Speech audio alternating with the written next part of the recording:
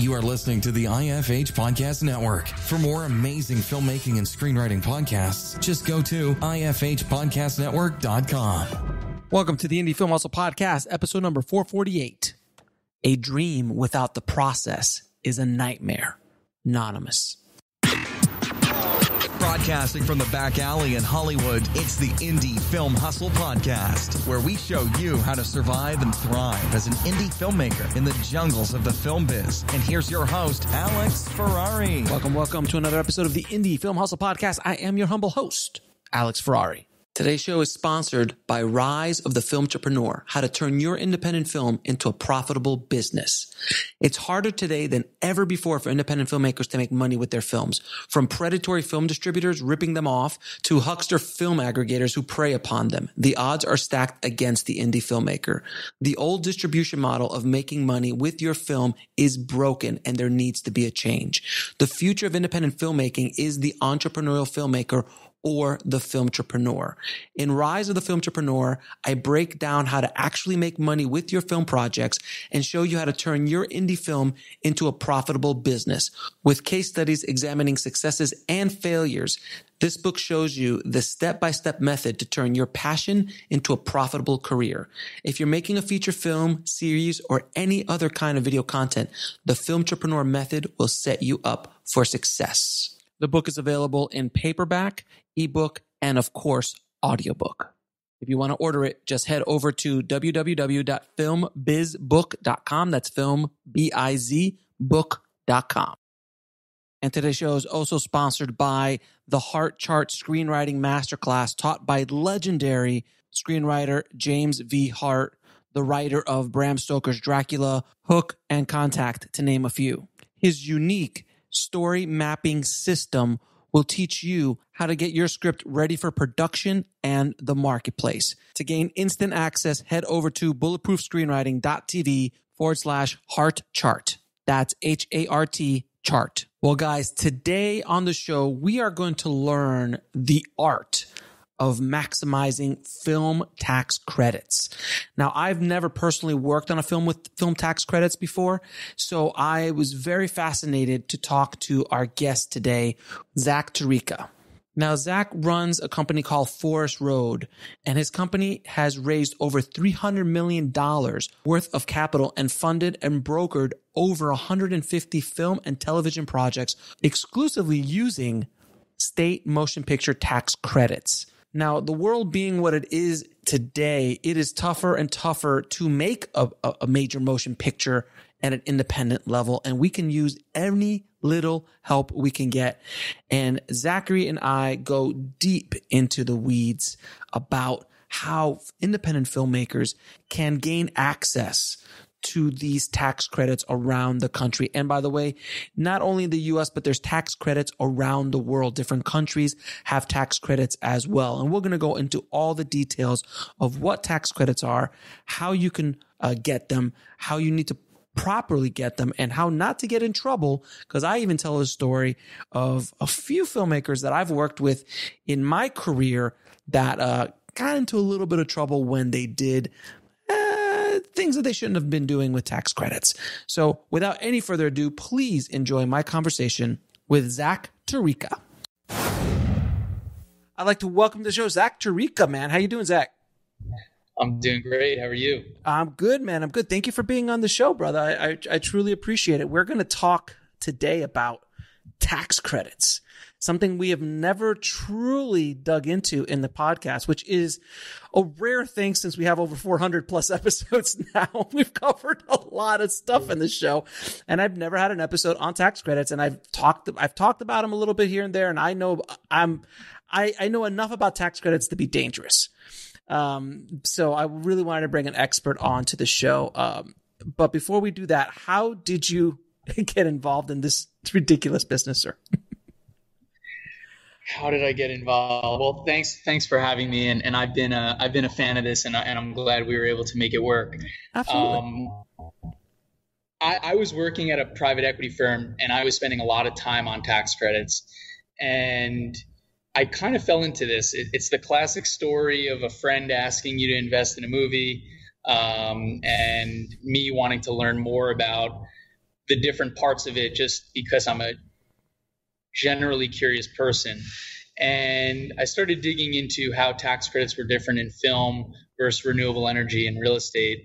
Um, and ultimately found that there was a, a, community of people like yourself, I think, uh, that that are film entrepreneurs um, yes. and and dangerous in the tax credit game, but not really maximizing the value of the tax credit and how important the tax credit can be in your project. And mm-hmm. so, like anything else, when you go to buy something or build something, capitalizing it properly is very important.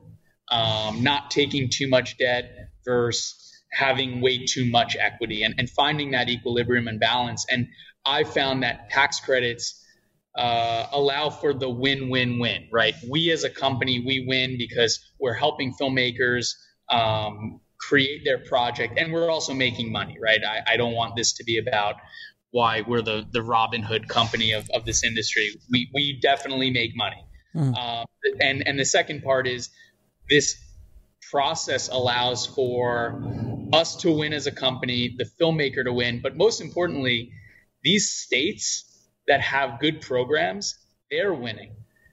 The with with an election coming up um, and 2020 and, and America in the position it's in in the world, job creation is probably one of the most bipartisan issues out there right now. And tax credits do a remarkable job of creating jobs. And that is the third winner in this, which is these states rely on our company to do things in accordance with their rules and regulations. And the filmmakers are relying on us to help them not only do it the right way, right? Get that tax credit back or that rebate back, but they're also relying on us to maximize that value for them. We've had filmmakers come to us and say they have a tax credit worth $100. I'm, I'm using a fake number. And mm-hmm. in reality, when we get under the hood and do the work, that tax credit's worth $300. And that means the world for them to not have to go and raise that extra hundreds of thousands of dollars from equity um, or take the bad distribution deal that that I know you and I have done so many times. Um, wait a minute, wait. A minute. There's bad. There's bad distribution deals. What are you talking about? No, sir? never. There's no such thing. Stop that. Say it ain't no so. bad distribution deal but um, but but yeah, in short, I fell into this um, by accident. Uh, I, I'm I'm excited to have fallen into it. The the company that I work at is called Forest Road, um, and it's been a great almost three year run now at this point. Being able to work with uh, both elected um, and and local officials at the state and federal level um, but also to work with a lot of different filmmakers, watching their projects and their their business, which is their film, come to life. Oh, I love that last statement. Their business and their film, because a lot of filmmakers don't think of their film as a business. They think of it as a creative outlet, which it is. But as I've said many times before, there's twice as many letters in the word business as the word show and there's a reason. If they uh, if they don't if they, if your listeners don't know that by now, they need to fix their AirPods. Absolutely, and um, really quickly, I always like to ask, um, and we talked a little bit about this off air. How did you find me and the work that I'm doing and and with Indie Film Hustle? I'm always curious pride myself on letting our customers know that I'm not from the entertainment industry. I'm, I'm, not one that's going to read a script. Um, I'm not going to get into the creative chops of it. That's what that's what our team is there for. And the same way that I wanted to dive into the film tax credit side of it, I also wanted to dive into the film side of it, mm-hmm. uh, less the tax credits. And so I travel a bunch, uh, obviously pre-COVID, and um, and I, I'm always looking for the next good book or or podcast I came across your podcast, um, and and actually, I don't. It, it's a it's a funny story. I came across this podcast, and every time I went to listen to it, I was on a flight, and the flight. Every time, three for three. The first three times, I literally hit play, sat in my seat, uh, put my seatbelt on, and uh, the plane would get canceled. The flight would get canceled. and I was just like, you know what? Screw it. I'm done listening to this guy. Like, it's bad. It's bad juju. It's bad karma. I'm done.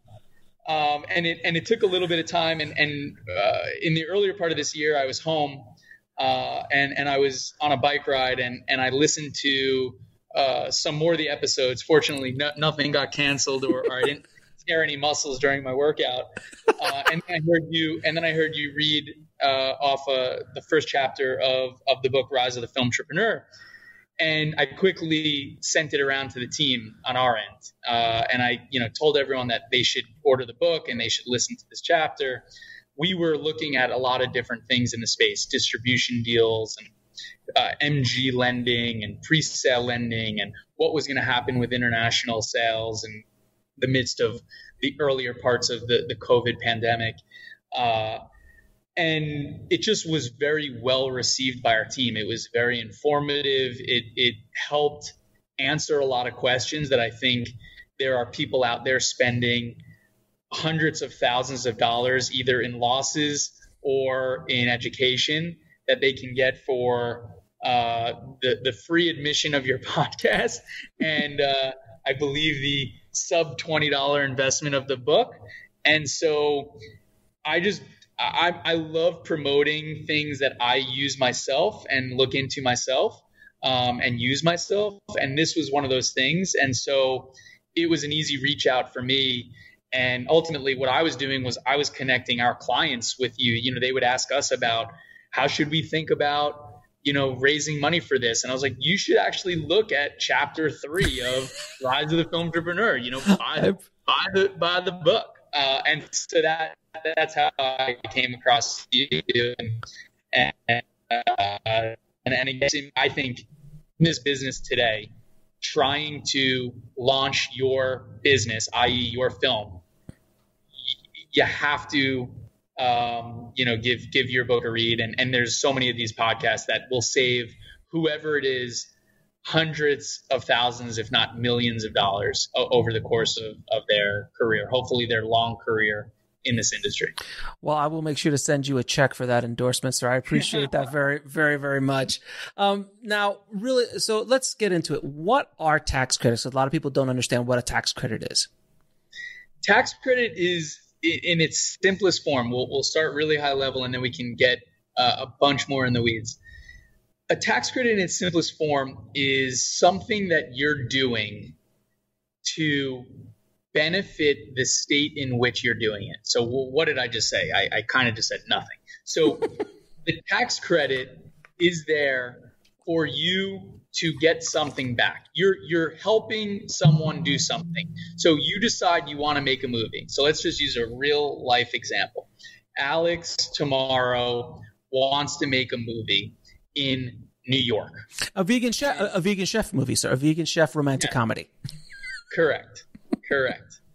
And so when Alex looks to make this movie, he's going to raise two types of capital equity and debt. The debt has a lot of different pieces to it, and we'll put that aside for now. The equity, let's just use the example of friends and family to make this illustrative and simple. On the equity side, he calls 10 friends and they all give him money. Great. Alex is a good friend, and everyone was happy to chip in and see this vegan chef New York romantic comedy come to life. On the debt side, there are, I'll just define as a bucket of pre sales and tax credits. Tax credits are there help promote things like tourism. This vegan chef romantic comedy movie is going to start off at the Empire State Building He's going to fall in love at Madison Square Garden. He's going to go on his uh, engagement proposal trip to the Natural History Museum. And then ultimately, this all will culminate with um, him finding out that the love of his life wasn't a vegan the entire time at the Statue of Liberty and the end of the movie, and you'll be left hanging on the edge of your seat uh, to see if um, they end up making it work or not that's, in the sequel. That's a, uh, that's a, that's a and, horrible, horrible story pitch, sir. You obviously are not in the film industry, sir. You are not, you are a finance guy through and through, sir. That's a horrible, That horrible first- setup. That was my first pitch. That was my first pitch ever. Sir, horrible. Continue. So the tax credit is there to promote New York, right? Okay. So Alex is going to bring a lot of jobs when he shows up on day one in pre, principal, and post. And and we could talk a lot about COVID now because the opportunity and replacement cost of making content is becoming more expensive. It today is more expensive to make a movie because of the coronavirus than it is to or was prior to February 25th, 2020. Mhm.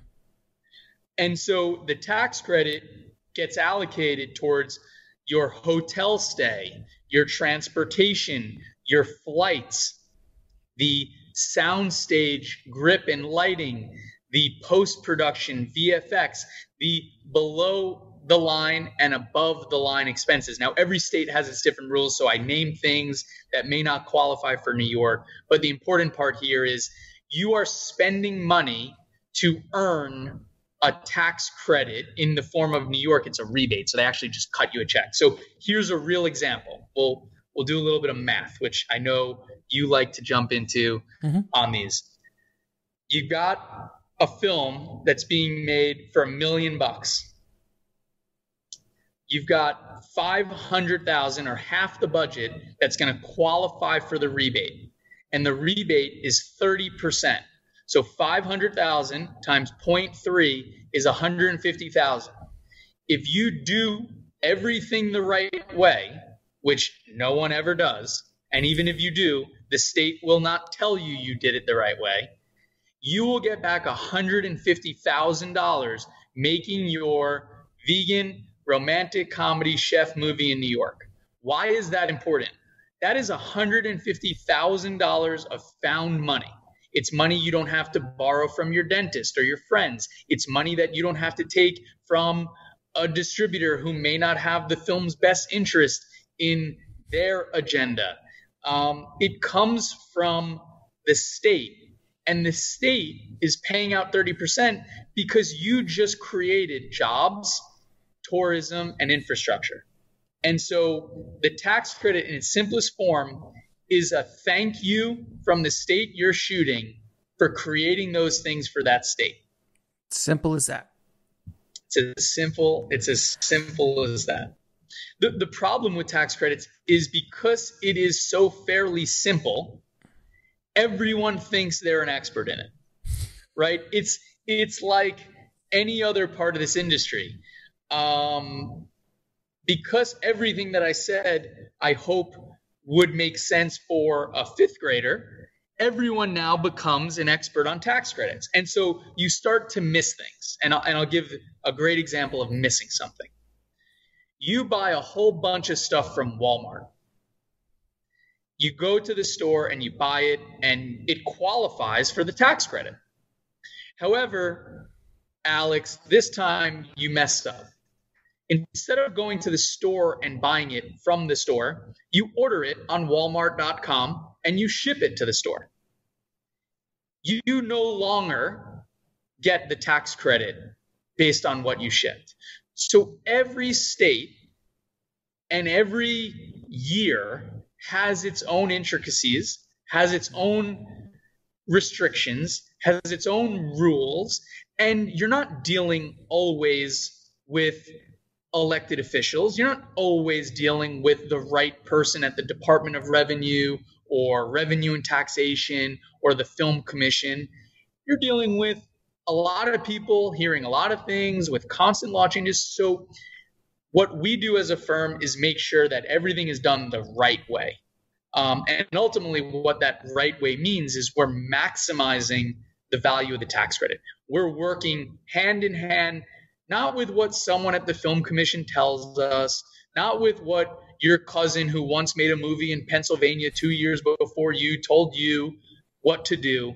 We're doing this so that everything happens such that you maximize the value, you get the most amount back on the tax credit, but also you're doing it the right way with the state, and that happens faster. And and so another big thing that I know you like to discuss on this show is the time value of money, right? What is a dollar worth today versus a dollar worth in 2 years from now? We had a call today with someone waiting on a New York tax rebate from 2014. What is that money even worth anymore to that person? So we're constantly doing these so that we can push the envelope and get this done as fast as possible because ultimately, with debt comes interest, and with interest comes losses to your equity. And our goal is to maximize not only the value of the tax credit, but the value of your business, i.e., the film you are making. Now, each state obviously has different rates, and some states don't have tax credits uh, or tax incentives, as they're as they're called. I remember when I used to live in Florida. Florida, for a while, had a good tax incentive, but then a different party came into play and they killed it. And then uh, with that, killed all of the um, all the production that was going down in, in Miami and South Florida. Because I remember when I was growing up, there was Bad Boys, Bad Boys Two, uh, yeah. I think Transform. There's a ton of movies that went down there, to the point where they just when they made Bad Boys Three, they shot just the bare essential exteriors and everything else they shot up in Georgia. Why? Yep. Tax incentives, which yep. arguably Georgia now has is it it's the best in this in the con- in the country, one of the best. Georgia is the Hollywood of the South, right? No question about it. Um, the most prolific program, highlighted by the investments that have been made by Disney and Netflix, and and and the bang for your buck you get there is great. No, no question about it. That is not to say that there are not a lot of other states mm-hmm. that are in line with Georgia or uh, their goal is to you know overtake Georgia in that program, right? New Mexico has made tremendous investments in their tax credit programs. Uh, Pennsylvania, Massachusetts, New York, Oklahoma, Alabama, Mississippi. What we do as a company is um, in in going to our website, we actually rank every state that has a program, and if you click on that, state and type in your email address, we will send you a one-page cheat sheet on everything you need to know in that state making a movie. So what we want to do is help filmmakers get to the right place for their project. Every project is different. And so just because Georgia is the program to be in right now, that doesn't mean Georgia's the right program for your film. And so maybe if you're based in Los Angeles with everything going on in the world, Georgia doesn't make a lot of sense to be on flights back and forth. Maybe you want to look into Puerto Rico. Uh, maybe if you're coming from uh, New York, it doesn't make sense to shoot in New Mexico. It, it may make sense to go to Alabama. So every one of these programs constantly change. Uh, and so it's important to stay on top of that. And that's what we do as a company. Uh, but it's also important to know what your film is and what you're going to be doing as a business such that you're shooting in the right state for your project. Got it. Now, do you also work with international, um, like you know, because there's incentives in the UK and different countries? Is that something you guys work with? And can you talk a little bit about that? It was basically the same concept as it is here in the states. The core vision or mission statement of our company is to add value, is, is to help our client. If you're if you're if you're calling us because you're really excited about a program in Romania um, and you're exploring shooting there and, and earning those remaining credits, you will hear me quickly say, you should probably work with someone else. We, we can't add value, we can't help.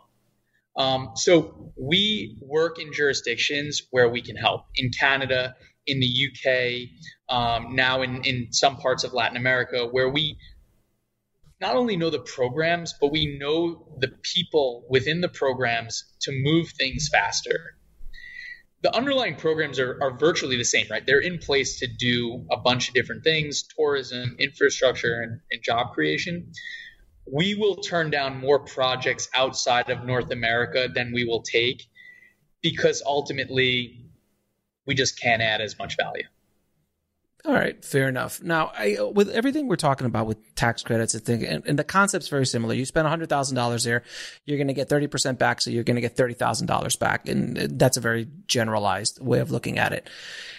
Is there a way to leverage tax credits to help get financing? Saying like, okay, guys, we have a million. This is a million dollar um, this is a million dollars, but we really only need 700,000 because we qualify for a million dollars because we're going to do everything in Georgia, where it's a Georgia production, everything. We're not going to breathe outside of Georgia. So that means we are, we know that $300,000 is coming in. So when raising the remaining 700,000, can you leverage that 300,000 to help you get the financing? That's the biggest that's that's the biggest thing, right? So what we want to do is make the cost of capital of the film as low as possible. Mm-hmm. So in that example that you just gave, a million dollars where you only need to raise 700,000 because 300 can come from the tax credit, that's a home run win-win-win scenario for all, right? mm-hmm. And so what were you going to do if you didn't raise that extra 300,000? What were you going to do if you had 700 making a million dollar film with that 300,000 coming in from the tax credit? It would have come at the expense of higher interest debt. It would have come at the expense of a bad potentially MG deal. It would have come at the expense of you know less shooting days. It would have so the beauty in what we're doing is we're actually a capital provider. So we're coming to you saying, look, you thought your tax credit was worth 300,000. We actually think it could be worth 400,000 and we're giving you that we're we're putting our money where our mouth is 100% of the time. So I believe in the ability to show you know the buy-in by action, not words. There, you know, any one of there, I could point you to a long list of people that will tell you what your tax credit's worth. I cannot point you to a long list of people that will actually put the money up for what they tell you it's worth. right. And so, so when you get a number from us, that's a number not that we're going to go take to the bank, not that we're going to go do anything else with, that we as a company that we're going to put the money in. We're investing that. So if you're looking for capital against the tax credit, um, we are the one stop shop for not only maximizing the value, getting it back faster, brokering the tax credit, which is something we haven't hit on yet, but also lending, putting capital in your pocket immediately. Now, how can how can the tax credit, if the state gives thirty percent, how can that tax credit be worth more than 30%? Well, it's worth 30% on what qualifies. Mm-hmm. So you've got the numerator and the denominator, and the most important part is getting the qualified number, right? Because no matter what, you're going to multiply by 0.3. Mm-hmm. Whether or not you multiply by a million or 500,000, mm-hmm. that's the differentiator.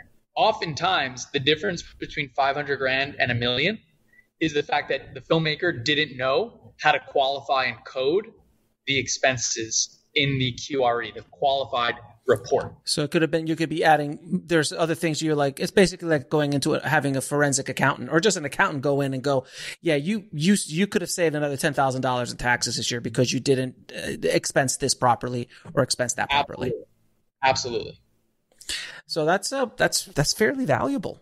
Uh, now what from our standpoint, what we're trying to accomplish, because the more we can maximize that value for you, mm-hmm. the better your film's going to be. I mean, it's it's so simple, and and I hate oversimplifying things, but less stress and pressure will generally always equal a better product. No, in any, stop in any it. Stop it.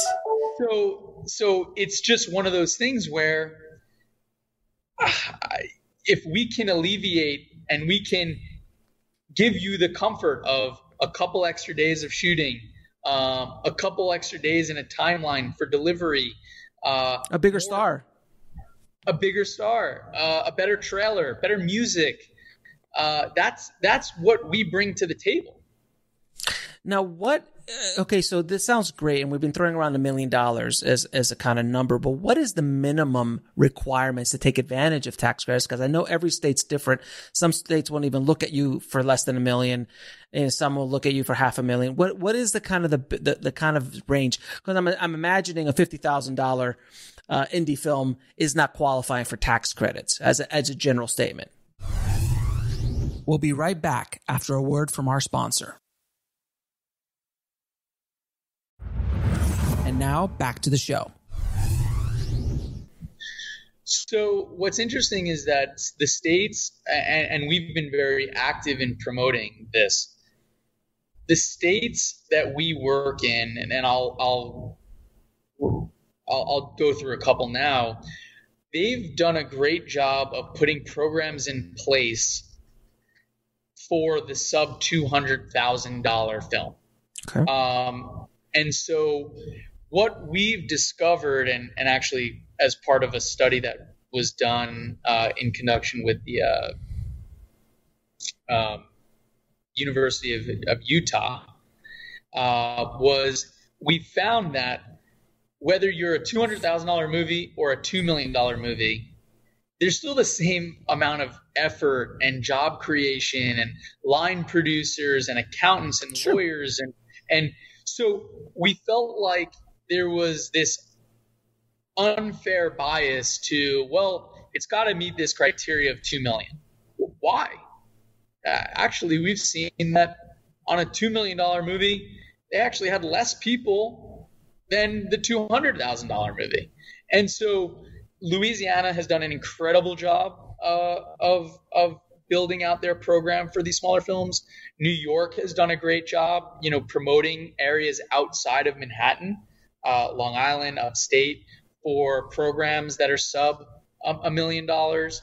And I think the more that these programs can grow in Ohio, in Massachusetts, um, Kentucky had this type of program, but recently shut it down in, in 2018 and 19. Um, I, I, think they will. I think people will realize that that they belong at these states at at a lower budget range. Now, in your on your site, you talk a lot. Uh, you talk a little bit about buying and selling tax credits. Can you talk a little bit about that? Yeah. So we talked about New York, where you actually get a check in the mail, a mm-hmm. rebate check, right? You Alex made that movie, five hundred thousand qualified. He finds out at the end that she wasn't a vegan, and and the, the movie. it's a horrible, horrible romantic uh, romantic, yeah. romantic comedy. Horrible romantic comedy. yep. Yep. Exactly. And and you get your check in the mail for 150,000. Everyone's a sure. winner. You're all happy. Well, what happens when you don't get a check in the mail? What happens when you have a credit that you need to monetize? So what happens there is you need to find someone with income in that state because they're going to utilize the tax credit to offset their tax expense. And so let's just use Georgia because we talked about it before. Mm-hmm. Um, Disney makes a lot of movies in Georgia. Mm-hmm. Disney has no income in Georgia. Therefore, they do not pay any Georgia state income tax. However, a lot of other companies do make income in Georgia. Coca Cola, Delta, Cox Communications, uh, Georgia Pacific, um, Chick fil A. Those companies do want to use those tax credits. So Disney earns them, right? They generate them because they make a movie in Georgia. And Delta, bad example in the environment because they won't have much taxable income for the foreseeable future. But a company like Delta, let's use Home Depot, mm-hmm. where everyone is improving their home right now because they've been trapped for for six months, yeah, uh, eight months, and and um, they will buy the tax credit from Disney at a price where there's a spread in the middle. So Disney earns a tax credit and then they sell it to the addressable market, i.e., the income earner. And what we do as a company is we connect buyers and sellers. So if I have a so okay, so if I have a hundred dollars in tax credit, mm-hmm. I'm Disney. Yep. And I'm going to sell it to to Home Depot. I'm assuming I'm not selling it at a hundred dollars. I'm selling it at a discount. Correct.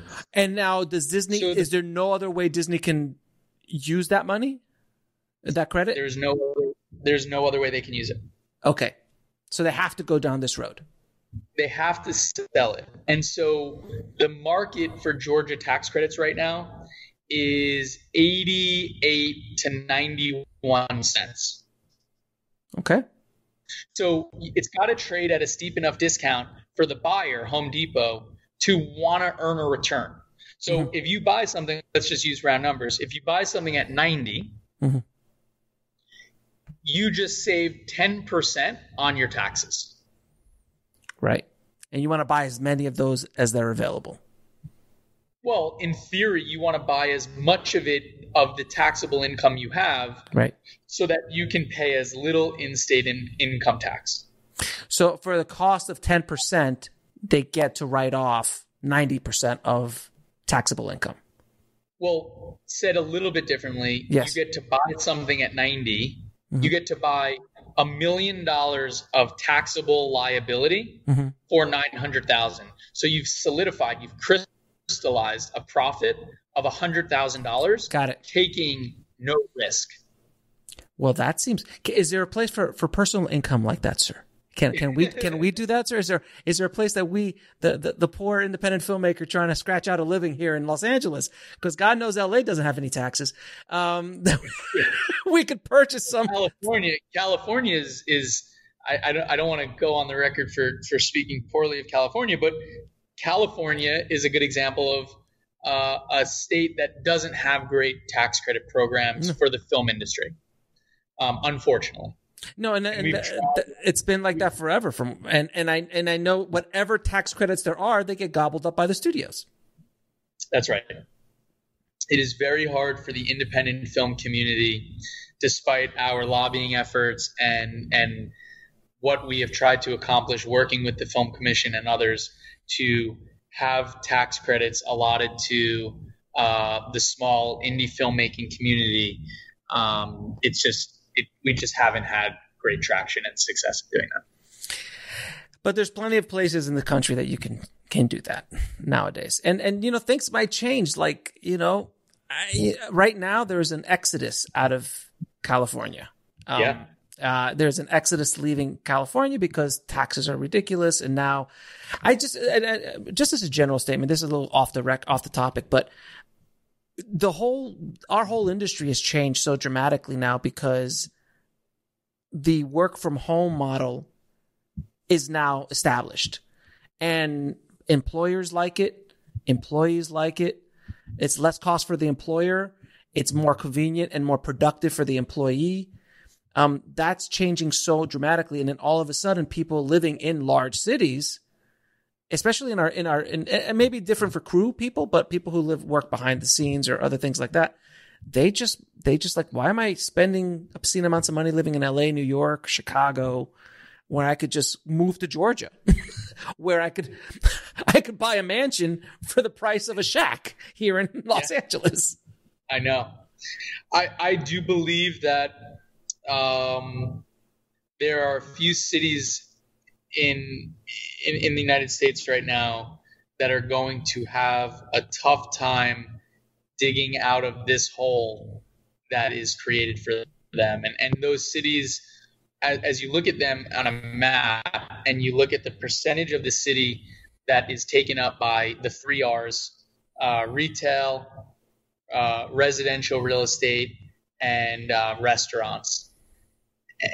And and any of those cities are not going to be able to bounce back in the way that other cities can. And, and on top of that, um, the tax rates in California and New York are going to go higher. I mean, I, I don't know how else to say it. And and to me, it speaks volumes to why tax credits will become a more prevalent part of society and our and community but most importantly, I, I think it will just be tied to where people end up going to. I think you will see a, a flight out of Manhattan.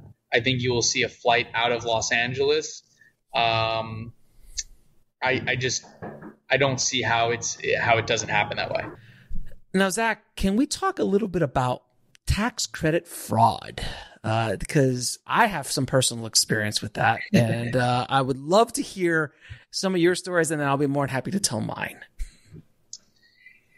The tax credit, um, wow, tax credit fraud. So let's start with there is a ton of it um, out there. Uh, and and I think maybe even taking a bigger step back, we talked prior in, in one of our earlier conversations just the barrier to entry in the film industry, and I think what is unique is you know you, you want to be a dentist and you go to dental school you want to be a lawyer you go to law school. You know if you want to be a filmmaker you, you just show up and, and you change your linkedin profile or your facebook page and so you will always deal with bad apples and and this industry like all others have the bad apples in them and so fraud especially in tax credits is i think the most notable or, or relevant thing to talk about when you do talk about tax credits i think most of the time the filmmaker genuinely doesn't even realize they're committing fraud um, and I think the examples that I would cite on on this is examples where they did know that they were committing fraud. Because look, at the end of the day, when you're working hand in hand with a state commissioner, a film office, an accountant, a lawyer, you're going to make mistakes, and and hopefully, using Forest Road as a company, we can help avoid those mistakes. But the reality of the situation is, they're going to happen. I, I think they become big issues when there's fraud. So, what is tax credit fraud? It's actually pretty simple. the most notable form of tax credit fraud is related party transactions. So, Alex moves to New York a month before he makes his movie about the vegan chef romantic comedy. Mm-hmm. And Alex buys three vans. Uh, we'll just make this super simple three white vans. And Alex charges every time an actor lands at JFK Airport. Alex jumps in his van, he throws on his little driver hat and his suit, and he picks up George Clooney from JFK. Great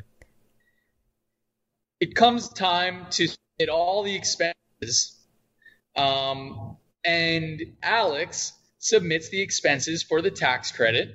And he says that every time he picked up George Clooney or whoever was in the movie playing Alex in this romantic well, comedy. Why, thank you, sir. yes. Um, and, and, and he charges a hundred thousand dollars to pick up George Clooney from the airport. Now, now, why would Alex do that? Well, Alex is the sole member of Alex Transportation Company, the white van that picked up George Clooney from JFK. And so you're saying to yourself, well, that's not fraud. I paid myself $100,000 from the money that I raised from investors. They didn't ask who or what I was doing with the money, other than to say I was making a movie and I qualified that for the tax credit. Well, the problem is, is that the state is going to pay you a rebate amount off of the total amount that you spent. And in reality, it should not have cost you $100,000 to pick up George Clooney from the airport. Maybe it should have cost you $300. So that is the most relevant form of a related party transaction that is fraud. And so what happens is is back to the numerator denominator you are taking 0.3, 30% of the tax rebate, and you're multiplying it by the qualified expense of the film. And so if you only spent $300 at a 30% rebate versus $100,000 at a 30% rebate, Well, you just sold, you just stole about $29,000 from the state of New York. And so that is fraud. And that it's also a federal situation, if I'm not mistaken. Can be. Well, well, it can be. Um, where we've had great experience is at the state level, where not only was it a related party transaction, but there are things like changing general ledgers and cost reports. Um, you mean having two sets of like two sets of books, like like the mob? Two exactly. there's there's two sets of books. There is, you know, we we've seen a bunch of different things. I, I would say the most common is not two sets of books, but we've actually seen just outright made up numbers in a cost report. And so the way accounting works, really high level, payroll providers, production accountants are creating statements, both cost reports and general ledgers. And so if you are submitting material to an auditor, generally a third party auditor, and that auditor is using fake numbers tied to uh, a, a, misrepresented cost report, which then created a fake general ledger, which then created a fabricated audit. That is fraud, and and it goes all the way up, you know, potentially to to the federal level because what happens is is the the auditor is being hired by the state to do the state's work, and so when the auditor doesn't catch the fraud, it becomes the state's problem. And when it becomes the state's problem, it becomes a big problem. So I've actually heard of companies, and tell me if this is actually legal or not. I've heard of this in the years of yeah. me walking around in this business, where they're like, okay, we're going to go shoot this movie in Louisiana because mm-hmm. Louisiana has a really great tax incentive. We're going to set up a post house in Louisiana and we're going to open up a company that's going to do all the posts there. We're going to fly people in and it's going to be a Louisiana post company so we can qualify all that expense to the tax, uh, the tax credit. Um, and we're going to keep that company going for a few years doing other projects and stuff like that because we're going to keep coming back. Is that legal? That is not only legal, that's a that's a great thing, right? Okay. Because that's creating jobs, and that's that's awesome. Here's where it becomes not awesome. That same example you gave, we're going to go to Louisiana, we're going to open up a post production company, and we're going to create jobs, and it becomes not cool or not legal when you don't disclose to the state that it's your business, right? So if you open that post house, right, and your film is also using it, what the states do, which I think is smart on behalf of the states, is they cap the amount of tax credits that can come from related transactions.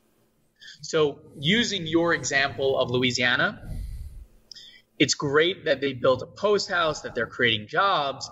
However, what if the VFX normally would cost $100 and they're charging $100,000. Sure, same thing.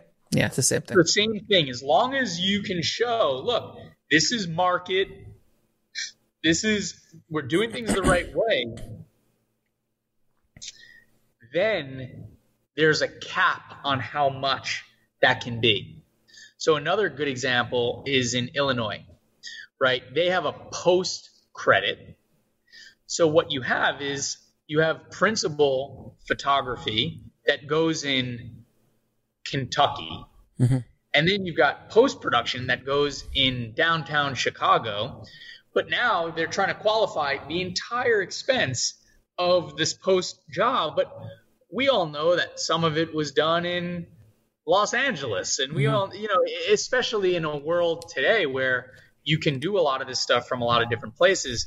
So the states constantly need to be changing and amending and working with production companies and working with lenders to make these programs more efficient and better because I've heard, I mean, I've, I've been a party too. I've not say I was involved in, but I've heard of something setting, setting up a company like that in Louisiana. And then all of a sudden using let's say an LA or New York VFX guy and paying them the you know to do the majority of the work, but funneling it through that post house that's now in, and that's that's fraud.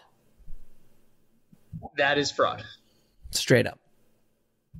Straight up, yeah. And so generally, and, and it's it's tough to stereotype, but when we hear words like in kind or funneling um, or, or deferred or related party, our ears perk, perk up. up. a little bit um, because we're trying to we're not we're not trying to ruin anyone's day, but we're trying to steer people clear of, of the danger that they can get themselves into and and oftentimes are led into um, by some people in this industry that that are not having their best interests.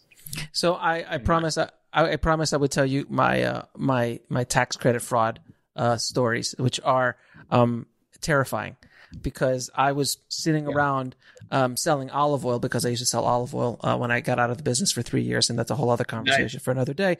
I was sitting there, and all of a sudden, I get a call uh, on my phone, and like, "Hi, is this Alex Ferrari?" I go, "Yes." They're like, "This is the FBI," and I'm like, "No, seriously, who is this?" I'm like, "No, sir, this is the FBI." I'm like. I'm sorry. What would you? What could I do for you? They're like, "Did you work on X movie?" I'm like, yeah, yeah, yes, I did. He goes, do you know this person, this person, and this person? I go, well, yeah, they were the producers of the film. We're flying in to talk to you. The term "we're flying in to talk to you" from the FBI is not scary. something you want. It's scary because they can't. What do you mean? Like it, this is like we have to do this in person. We can't do this over the phone. So that that was like, oh my god, like where can we meet you? I'm like, just meet me at my olive oil shop, I guess. So uh, we went over. Oh my god! They fly in and they tell me, I'm like, this guy did this, this, and this, and we're just trying to figure out where the money trail is. How do they pay you? This and that. I'm like, well, what's going on? They're like, well, we really can't say, but these guys have been indicted. you can't say yeah. anything. I'm like, no, no, no, I'm not gonna say anything. They've been indicted, and we're building a case up against them. They're uh, currently under arrest, and they, and we're doing this, this, and this. And I was like, oh my god! And they, it was fascinating to see what happened. They went to jail. These guys went to jail um, for tax evasion. And I won't say what the state that they were in, uh, but it's it's it, when I when I told you the story, you're like, oh, it's this state. I'm like, yeah, it's that state. Um, but we won't say the state. Yep. But um, that was one, and then another one I was doing post on another job, which was a three or four million dollar movie, and it had a big star that everyone would recognize their name if we heard it, and the director, who was also the producer, stated that they that in the in their cost reports, which I don't even know how you can add that as a tax credit because it's it's it's a salary. I guess it was the rules of, of, of that state because yeah. it's the salary of an actor who lives in Los Angeles. So I didn't know how that worked, but whatever. He said he paid him 1.5 million, and in reality, uh, when the actor was asked, the actor said, "No, no, I was paid 300,000." And the guy went to jail yeah. for like a year and a half in a federal penitentiary for yeah. tax fraud. And I was just like, oh my, I'm like, this guy was sitting in my post suite. We were talking and jamming. It was like, this is serious. It's serious, That's guys.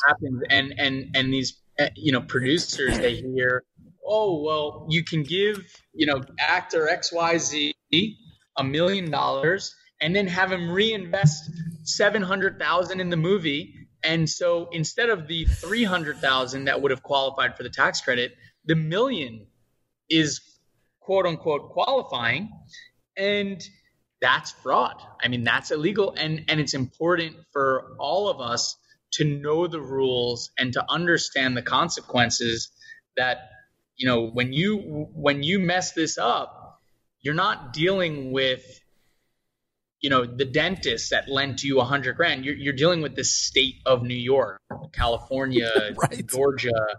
Um, you know it's it's the state of new york versus X. Right. And and that's a scary that's a scary letter to get um, or phone call to get for sure. Now, is this um so you obviously would recommend if you're going to go down the tax credit road to really partner with someone who's done it, a ser- a serious company uh, and or producer who has uh, vetted experience and you can you can do the homework and check what they've done and see if they're real and do your homework because if you try to do this on your own you'll never you, you just can't i think i think you look I, I don't want to um, belittle anyone, right? You you could if you wanted to. The question is is you have a lot of when, when you're building this business, your film. There are only so many hours in the day, and having been a part of a lot of these, I get that you're working 24 hours, seven days a week until this thing is born.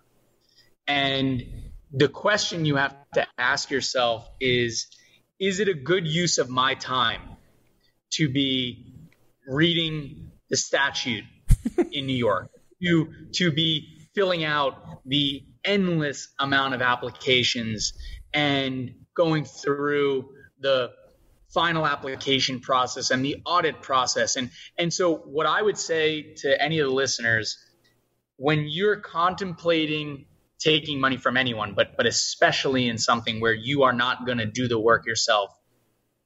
I can say whatever I want to the person. Require them to walk through with you the deals that they have done and give them the ability to put you in touch with their borrowers. The selling point that I give for Forest Road is I'm not going to pitch you on what we do.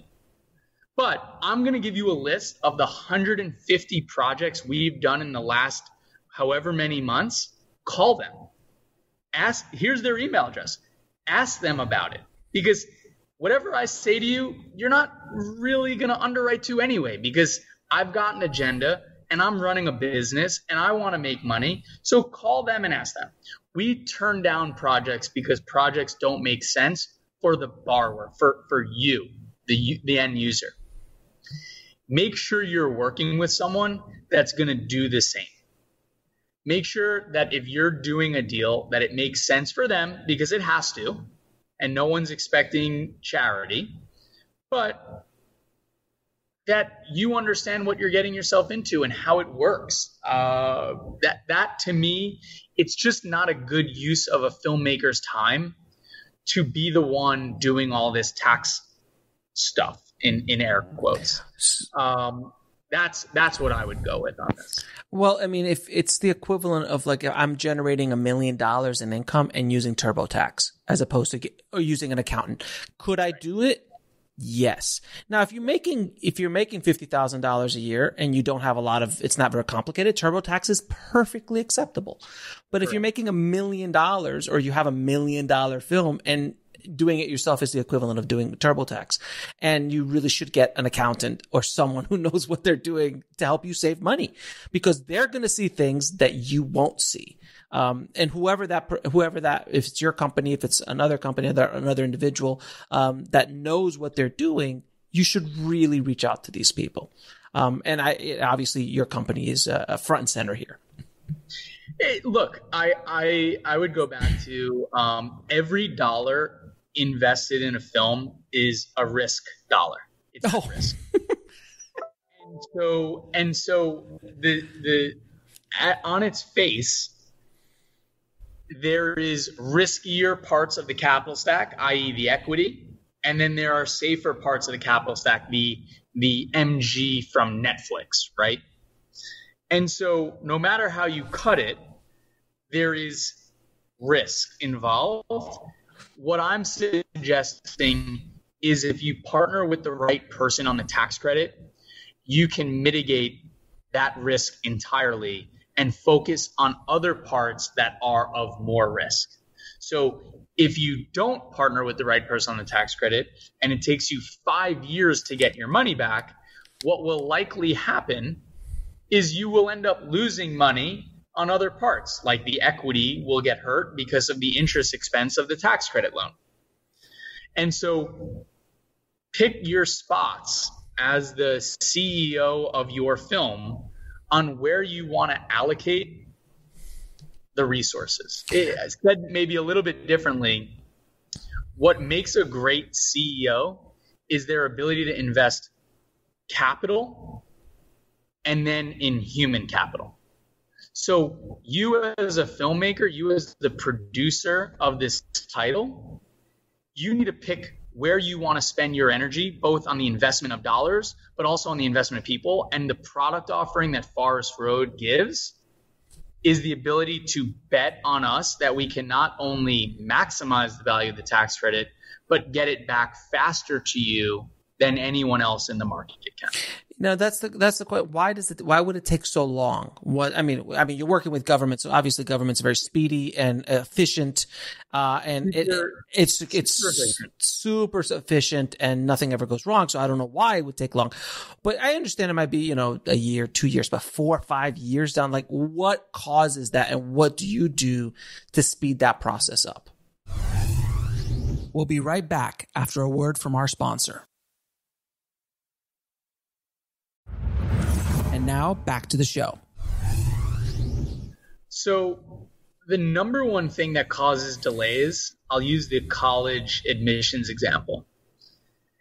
If you were to apply to college today, and, and I don't actually know what it would entail, and I feel like in this COVID world, who knows what is required and with, with standardized tests, et cetera. But let's use the let's use the pre-COVID model for applying to college. You have your high school grades you have your extracurricular activities, you have your standardized tests, you have the big three. Then you have the, the sub tier things, your essay and the questions. Why why do you want to go to the University of Michigan? And you have those as, as sort of the sub tier things. Now, if you submit everything all at once in one beautiful binder um, and present it to the university, the likelihood that you will get in if you have the goods, if you have the grades, you got mm. the essay nailed, and you did well on your tests, you're going to get in. If you apply with your decent grades, but you left out the essay, or your essay, but you left out the standardized test, guess what's going to happen? The University of Michigan isn't going to call you to remind you to send in the essay. They're going to sit on your application and you will never hear from them. And then you will wonder why you didn't get in. Well, the difference is is that with college, you have a time period in which you know you need to apply and then accept and then enroll and then attend. With tax credits, you'll sit outstanding in perpetuity forever because it, you still haven't sent in your EIN number, or you still haven't submitted your operating agreement, or you still haven't finalized the payment to the auditor, and and the state isn't there to remind you to do it. The state's not signing up to give you money.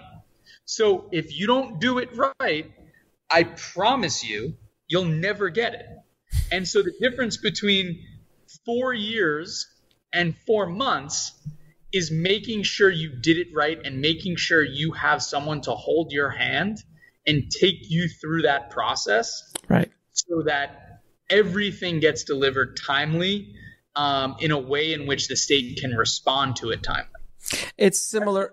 It's similar in post where if you've never delivered a movie before to a distributor or to a streaming service and you do it all yourself because you saw some YouTube videos, um, that's one way and then it, you're going to be going back and forth with QC issues and audio pops and technical things because you haven't gone through it. Or you hire a post supervisor or an online uh, editor who's done it 50,000 times. You pay them a little money and they make sure everything gets done right. Yep. It's, it's, it's just penny wise, pound foolish, basically. Exactly right. Now, um, eh, with COVID, man, how is COVID changing the business right now for you guys? Because obviously production is, yeah. uh, unless you're Tyler Perry on the Tyler Perry lot, um, it's it's it's a little rough right now in the in the U.S. Production companies are treadmills, right? They work as long as they're turned on and they're keep and they keep going. And so COVID has halted that, and we've stopped. Um, now we actually do have four productions that are in principal photography right now, uh, which is crazy. Uh, I I do not like risk that much, but if you're making a movie today, you are taking big risks. Huge. Um, on top of which, we as a firm don't require a bond, so we've been busier than ever, mm-hmm. um, and, and that's great, but it's risky, right? And so for us we are looking at a couple different projects. They're going in Georgia, they're going in New Jersey, they're going in Puerto Rico, um, and we're pumped to be a part of them and excited about being a part of them. But it is scary for sure. And and with the union guidelines and the state guidelines uh, and the the risks of running false positives um, and the Shutting down of, production, right? uh, actors that are in an age gap or or constraint where there's real risk to their health and, and well-being um, it's scary for sure and i and i don't see it changing for a long time i, I think i think uh, obviously we're not on this podcast to talk about a vaccine but i don't see any part of the union guidelines or state guidelines changing until uh, a vaccine is acceptable um, to the masses. and and and tested for six months to a year to see what really happens. I've been I've been saying that forever, and people are like, "Oh, don't be so negative." I'm like, "I'm not being negative. man. I'm I'm I'm, I'm preparing for the worst and hoping for the best, man." But I I think we're at least 2022 before things start to even remotely really start to come back up. But to come back to pre pre 2020, it's gonna be it's gonna be years. Well, it's it's a good example would be like buildings, right? So I'll, I'll I'll I'll make up an example. I don't even know if this is true, but you have buildings that are all made of wood, and then one day someone says all new buildings that are this high need to be made with steel. And so this transition from wood to steel occurs. Well, if steel is more expensive than wood, which it normally would be in that pe- period of transition, Mhm. the price to make content uh, I'm using as a building, I.e., building. And so right now, pre-production is a lot more expensive than pre-production pre-COVID. Sure. Principal photography is a lot more expensive than it was pre-COVID. So the cost of making content is going higher at the same time that demand for content is going higher. And I think that that is a great opportunity for your listeners and for the producers out there that want to make titles, want to make content. We just need to create a way to do it safe, and we need to work with state, uh, both local and, and federal governments to do it the right way. Uh, and we need to make sure that not only are we doing it the right way, but we're also doing it the right way for the investors too, right? Like the the, the making the ten million dollar movie that only has the resale value of a million dollar Hallmark end product is not a good idea. You may have made it safely, but it's not going to end well for your investors, and therefore it's not going to end well for you. And so that's the second, you know, negative here. And and uh, when you um when you sent your book my book around to everybody in the company, you also do real estate and and energy credits as- Yep. as well. Um, can you please tell everybody? Can you please tell everybody what the other two departments said to the filmmaking department? So, so the quote that I got in an email is, "Why does anyone waste their time working in this industry?" Dot dot dot. Woof. and that was probably just reading the first chapter. And that, that was, yeah, that was probably that was probably reading just the the the, the title page or or the, the back of the book with with the quotes, right? So so um yeah, I look, every industry has its headaches and we as a company, we like to focus on co- correlating our headaches with our returns. So if we make 80% of our money in the real estate industry, but film is 50% of our headaches, that's a bad uh, Right. that's a bad business line item for us. So we like to make our headaches align with our profitability. Um, but that, that being said, uh, I know some of the other members of our team on the real estate and renewable side that, that did very much, at least enjoy some of the chapters in this book as it pertains to some of the horror stories that uh, that, that you both uh, and and your reader have lived through. Um, yeah, and and that's the thing. I I I want people listening to understand when when you're talking to investors, it's a very specific kind of investor who invests in in, in motion pictures. because unlike real estate, at the end of the day, you have real estate. Like you have a tangible product that you own, whether the market goes down or up. You have land, you have a building in one way, shape, or form. When you make a movie, even if you've got a sucky building, like it's badly designed, it's still a building. It has some sort of value to it, inherent value to it. Whereas in a movie, if the director was bad or ego driven or the movie's horrible and it's not marketable, there's essentially no value there and you've basically burned a million dollars.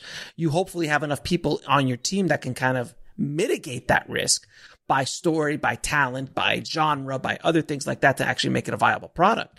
But I want people to understand that like it's a specific kind of individual who wants to invest in movies. And I'm sure you deal with these these guys all the time because it's and there's end games, different end games. Some guys just want like, hey, this is fun. I'll throw I'll throw in a half a million dollars.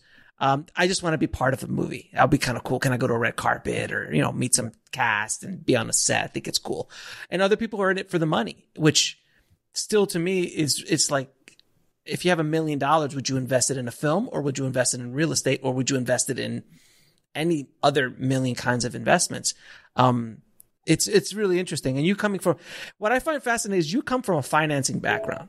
You do not come from a creative artistic background, obviously, with that pitch. Um, that's very, obviously, that's uh, very evident. Um, but uh, uh, no offense, sir, but uh, no. But um, the um, but uh, you coming from finance, and yet you decided to open up a, a, shingle underneath this this company for film financing. Yep. The reason why was because again, this is crazy. It's just a crazy business where it's it's insane, ridiculous, upside down business. I understand why I'm in it because I was infected with the the, the film bug uh, 25 years ago. Once you once you get it, you don't get get rid of it. Um, and there's a passion behind it because I'm an artist as well as a businessman. But you're a straight up business guy. Um, why did you do this? Yeah, I, geez, I'm, uh, if, if, you ask me on the wrong day, I'll say, I'll tell you that, uh, that I still don't know why I did it. I, I think, um, so I got into it in a way that was just bizarre, right? It, a, a, friend had asked, um, if I would look at his investing in his, in his film. Um, Wait, by the way, did you invest in that movie? I did not know. Okay, good. So you're okay. Good. That that says a lot um, about you. I just wanted to know because I want to know who I'm talking to. yeah, I did not. Um, and again, just going through the motion of of I, I ultimately ended up doing a tax credit deal with with uh, on this first one, mm-hmm. um, but what ended up happening was just this ultimate curiosity with how this could work and creating this situation where the state could win, our company could win, the filmmakers could win, and us to earn an adequate or, or a good risk adjusted return. So I think, you know, in looking sort of like why we're in this industry now, it, it's worth noting, right? We do not ask for a credit in the film. We do not want to read your script. We do not want to be executive producers. We do not want to go to your premiere. We we are like the least sexy um That's amazing. You know, film investors you will ever meet. Uh, and and so we really just like the notion that we can add value to the title and the business and also the state and make a good return on our investment. so, no, go ahead, go ahead, go ahead, go ahead, go ahead. So, so from from the standpoint of, um, you know, why are we doing this? And and so we're doing it because we've done over 150 films in a really short period of time. Yeah. Uh, we've put it, this year alone close to 90 million dollars to work in in this industry, um, in the film industry or in the entertainment industry, I should say. Um, and there are a lot of projects that would have never shown up on your television during COVID or in a movie theater near you prior to March. Um, and it's pretty great to see the jobs that it's created. It's great to see the excitement and the um, underlying content that exists because of our business. And not to mention, we've we've made a uh, we're, we're not out here to do it for free. We're, we're making money, um, and we've made great returns for our investors in the company as well. Because you know, I've I've I've talked to sales agents who who not only want a credit but they they want an executive producer credit. They want portions of the IP. They want a percentage of the the underlining IP. They want their logo in the front of the it's producers reps that do the same thing. Let alone distribution companies, uh, you know, and, yeah. and and getting credits for them and stuff like that. It's it's refreshing, sir. Not, it's refreshing. you will not, uh, and maybe maybe to our fault, you will not uh, find our name out there because we are not we're not the ones that put in the blood, sweat, and tears into making it. So we are not going to ask for credit. We are not going to be executive producers. We we are excited in our involvement in the capacity we get involved in add value, and that's it. There's there's no strings attached.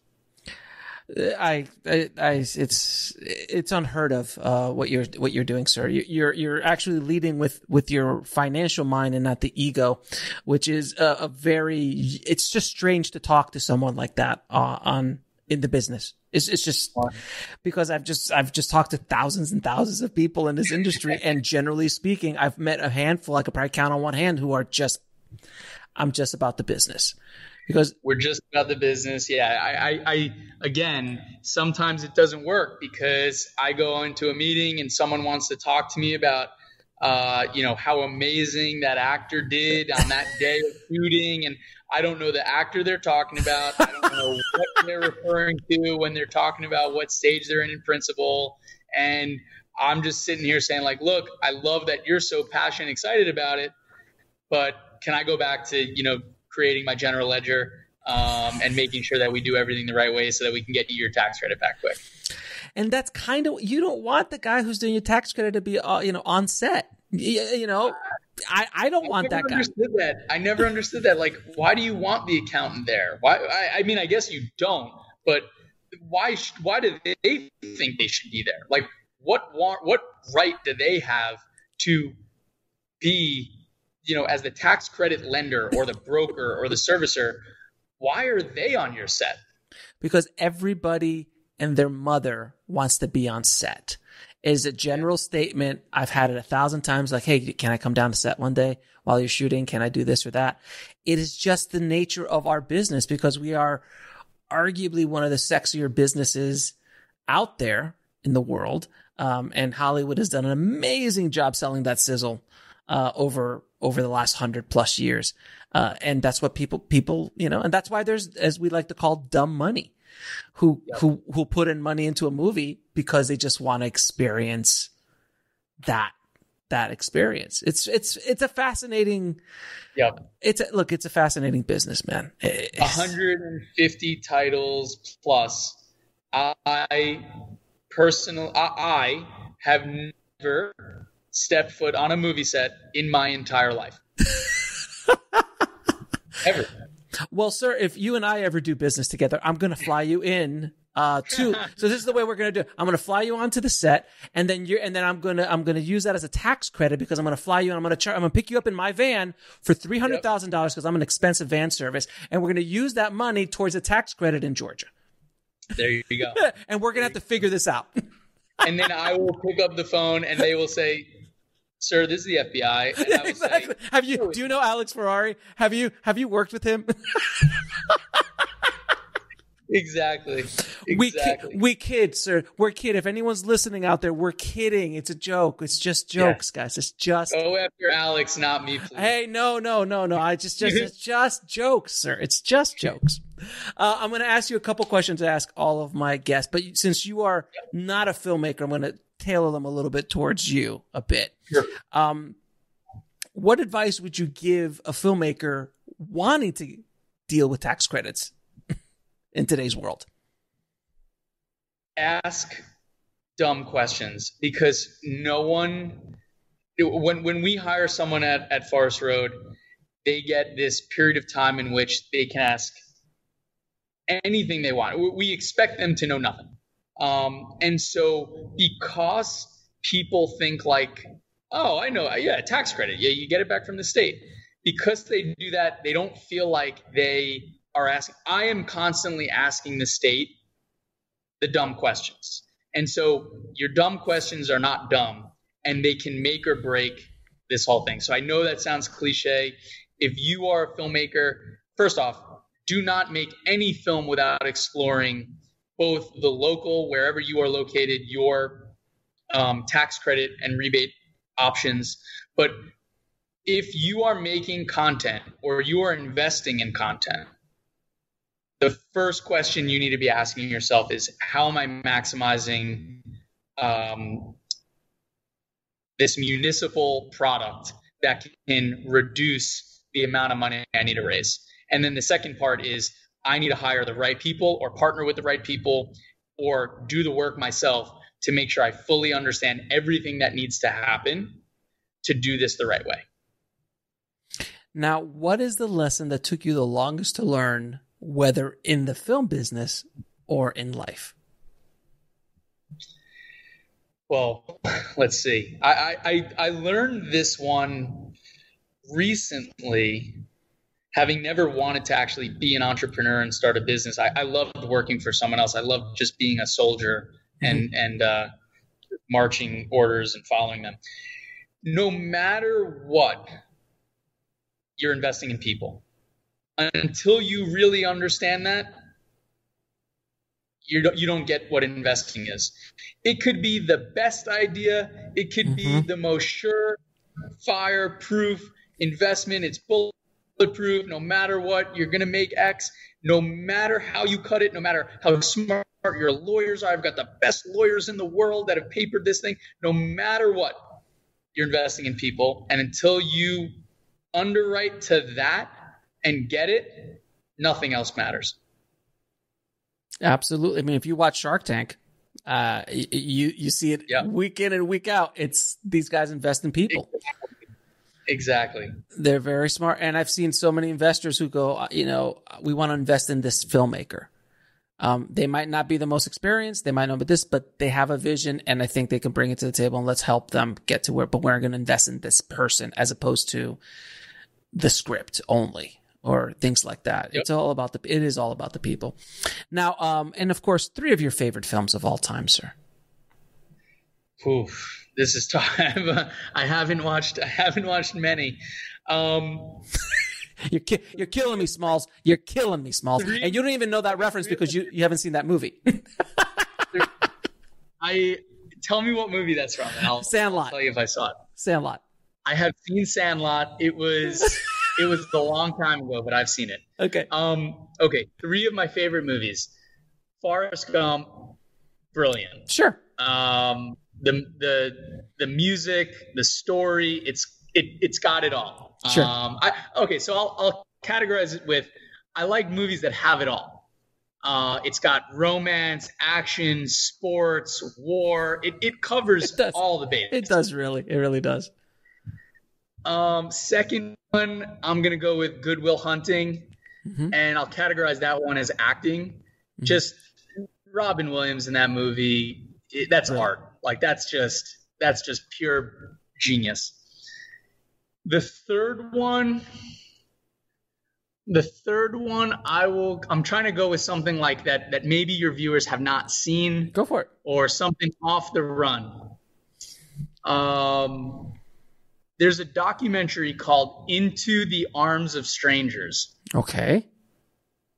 It is about the Kindertransport, which was basically during during the the Nazi Germany and World War II era, where the United Kingdom sent Jewish children on a train for them to have never never see their families again, um, to live in the homes of of uh, UK residents, and yes. to basically save the lives of thousands of of Jewish children.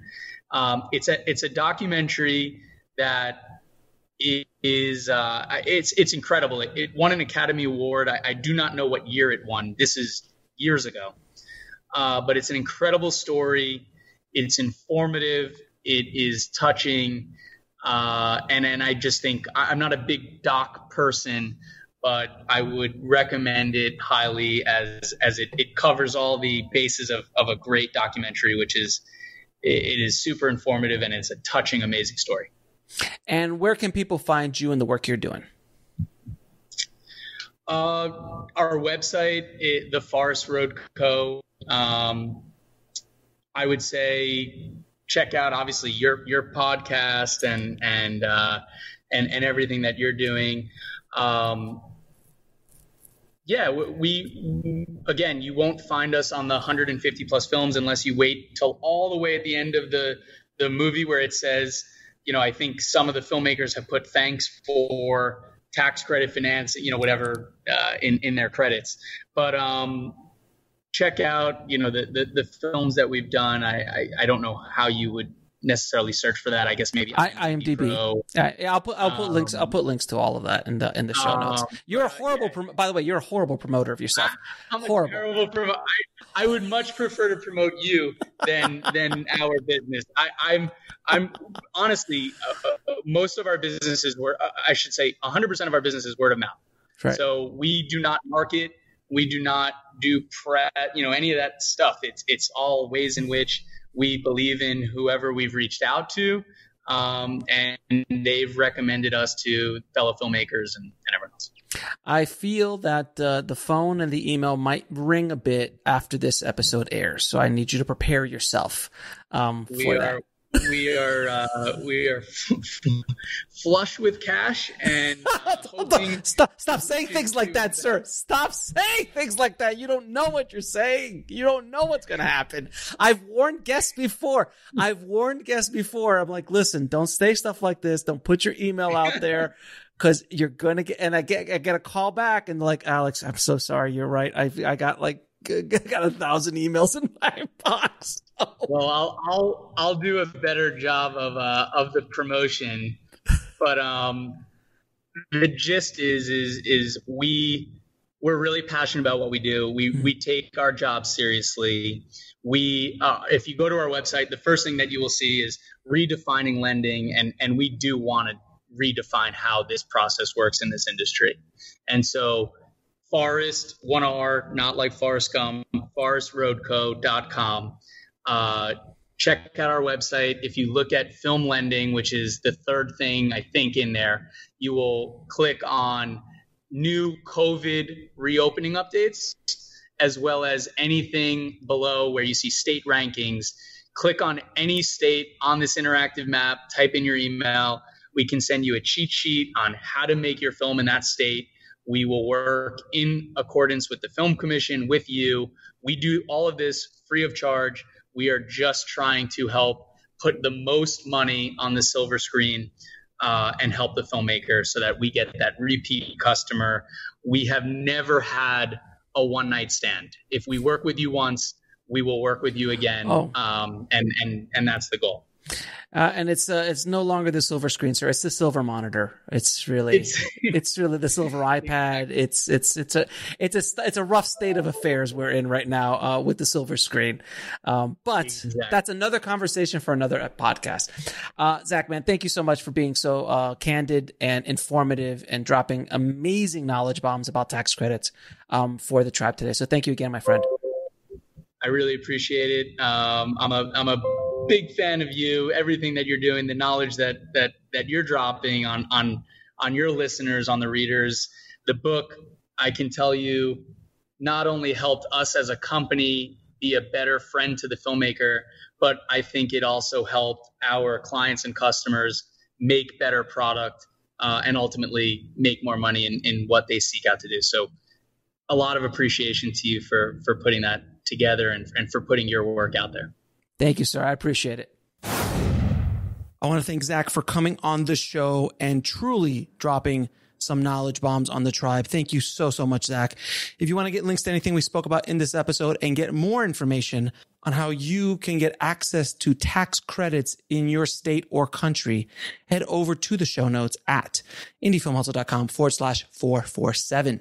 And guys, if you haven't already, please head over to ifhtv.com and check out the over 2200 videos we have to help you on your filmmaking and or screenwriting journey. It is the world's first streaming service dedicated to filmmakers and screenwriters. That's at ifhtv.com. Thank you so much for listening, guys. As always, keep that hustle going. Keep that dream alive. Stay safe out there and I'll talk to you soon.